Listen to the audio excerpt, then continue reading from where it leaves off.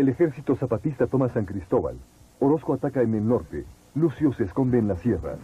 La historia completa de los movimientos armados en México de 1917 a 1994 en tres tomos profusamente ilustrados y son suyos gratis con solo suscribirse a El Universal.